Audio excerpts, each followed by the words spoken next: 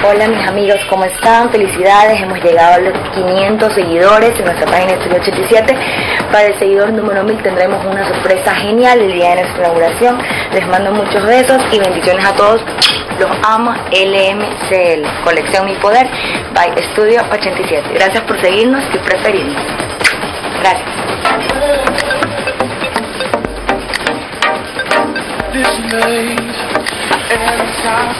Cualquier ser humano no está libre de alguna circunstancia negativa que pase, un lapsus, en, la circunstancia que haya, haya sido. Pero si la abogada ahora ha emprendido una nueva etapa de su vida, bienvenido, un aplauso para ella porque nadie ponemos, tenemos derecho de juzgar a nadie, ¿no? Porque eh, los seres humanos tenemos diferentes etapas en nuestra vida. Y la jueza estuvo acá en, en administrando justicia.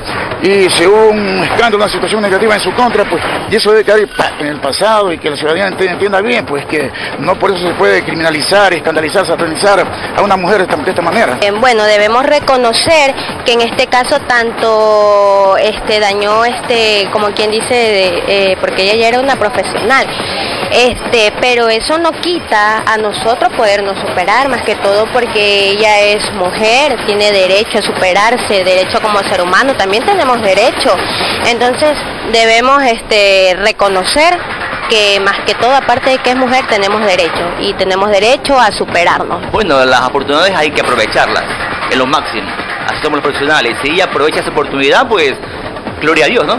Porque es bueno para ella, para superación y que siga adelante. La felicito la doctora. Como recordaremos, la ex jueza está siendo procesada por el delito de ataque y resistencia, ya que la ciudadana protagonizara un escándalo en un establecimiento público ubicada en la avenida Víctor Emilio Estrada, donde salió de aquel sitio en calidad de detenida. Bueno, bueno, yo creo de que todas las personas tenemos algunas oportunidades para la vida. Si esto pasó con ella y ha intentado ha hecho ese nuevo trabajo, nuevo alcance para prosperar y alcanzar una meta, estoy de acuerdo, porque todos tenemos nuestros derechos y nuestras obligaciones y tenemos metas. Así que si es así, pues la felicito. Desde aquel momento, la señalada fue víctima de la opinión pública. Hasta ahora se le siguen realizando bullying en contra de la señalada. Todo lo dicho en redes sociales. Es una buena oportunidad para sacar una línea de ropa que, que puede dar mucho éxito y le puede poner como nombre Mi Poder. Entonces, excelente sería el, título y, la ropa, la vestimenta, cual más la usaríamos. yo estaría dispuesta a usarla. Y si la jueza ha emprendido una nueva empresa, una línea de ropa, lo que sea, pues bienvenido. Y que las mujeres que la usen, pues que la usen y no pasa nada, ¿no? Este, claro, ella tendrá que hacer este un pequeño borrón y cuenta nueva. Este, y bueno, este un consejo para la ciudadanía que basta de discriminación, este, somos seres humanos todos, cometemos errores, este, sé que fue un acto demasiado fuerte porque prácticamente puso al Ecuador en esa profesión, pero estuvo, estuvo bien que, se haya superado, que se haya superado y que saque su, su ahora su nueva marca, este, creo que la ciudadanía la de comprar y se la de poner, estoy muy segura de eso.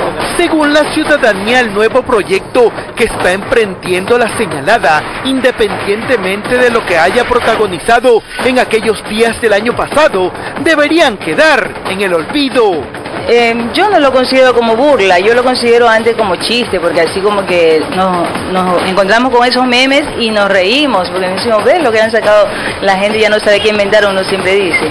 Y es interesante porque así uno sale de la rutina diaria y lee ese meme y se ríe.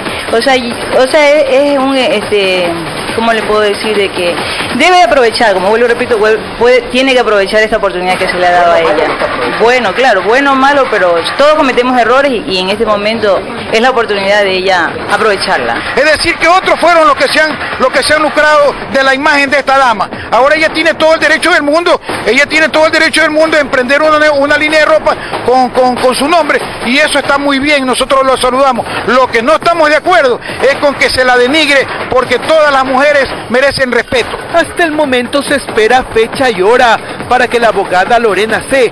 vaya a juicio. Mientras tanto, el licenciado Francisco Zambrano, representante de los derechos humanos y sindicales, daba su opinión respecto a este tema. Ella tiene derecho a emprender nuevas, nuevas etapas en su vida. Nosotros saludamos de que ella ahora sea una mujer emprendedora, una microempresaria, con esta nueva, línea de ropa que se llama Mi Poder. Lo que condenamos nosotros es la acción de ciertos ciudadanos que se han dedicado a la ingrata tarea de hacer memes y de coger de burla esta nueva etapa de la vida de la abogada Collantes. Un proyecto que según el funcionario tiene por derecho hacerlo. Hasta el momento la señalada no está juzgada, por lo que ella puede hacer y deshacer con su vida de la manera a como le convenga. Ella no ha matado, ella no le pegó a nadie, ella no le robó a nadie.